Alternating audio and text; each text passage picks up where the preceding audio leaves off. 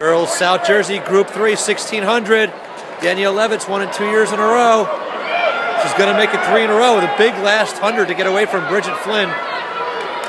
Leavitt's going to win it. Oh, about 501. Danielle Leavitt from Lacey.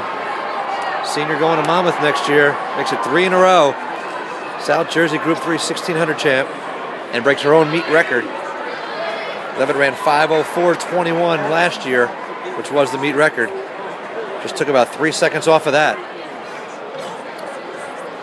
Leavitt just stayed All on right. the heels of Bridget Flynn the whole way. And you girls up front, just slide down a little bit. Used a big kick. About 100 to go. You saw the result. Danielle Leavitt wins her third straight South Jersey Group 3 1600 title. Congrats to Danielle.